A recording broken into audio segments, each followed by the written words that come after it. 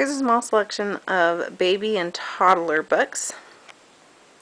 Um, so first off, we've got well over 30 of these That's Not My books. This is That's Not My Pig.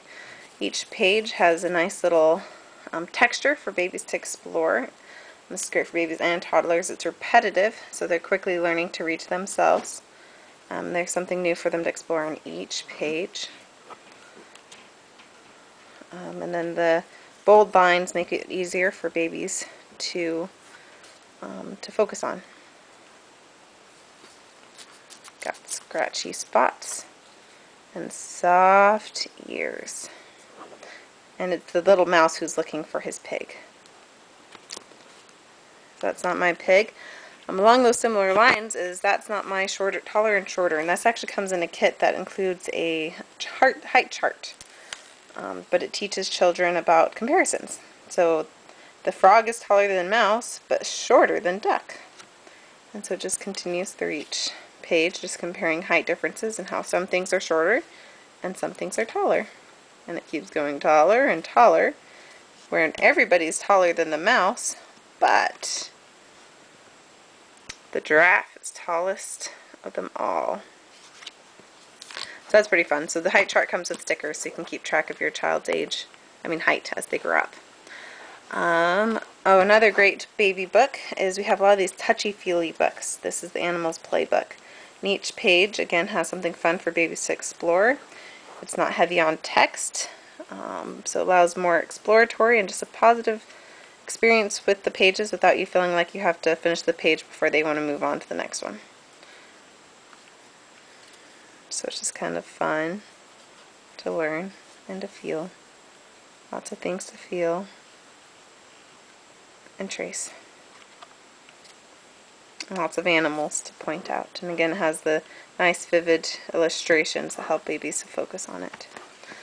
Um, along those same lines, um, this is our one of our slide and see books which is just lots of fun to be able to move it around. It's great for learning fine motor skills. Um, and there's just always little surprises. Um, I love that these um, panels are inset into the page so it makes it a little bit more difficult for children and babies and toddlers to destroy and they're also super thick. Hmm. But my daughter, when she was a year, absolutely loved this.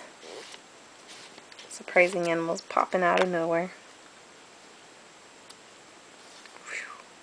Whee! And then we also have these new animal word books. Um, actually, there's another one on the farm, and I think there might be others too. Um, and so for your anim for your little children that are learning to speak, um, this is great to learn the different words. You can talk about all the animals over here, and then they can spot it over here as well. And again, it has some things to fill on each page. Um, not quite the textures, but the imprints and whatnot. Um, but I know that my daughter absolutely adores word books right now. She's 20 months. And she just loves being able to play and to talk about the pages and to make the sounds of the puppy dog and the ducks and the pigs cow. So we're definitely going to be picking up more of these word books because the pages are just so engaging. Um, right along those lines we also have um, these word books. They're just full of an animals and food and drink and family and friends and just learning how to name things. So this is a little more generic. The pictures aren't quite as vivid but there's a lot in it. And again this is one of my daughter's favorite books for bedtime. she just loves to go around here and to, she always looks for the bath. She just loves the bath. That's one of her favorites.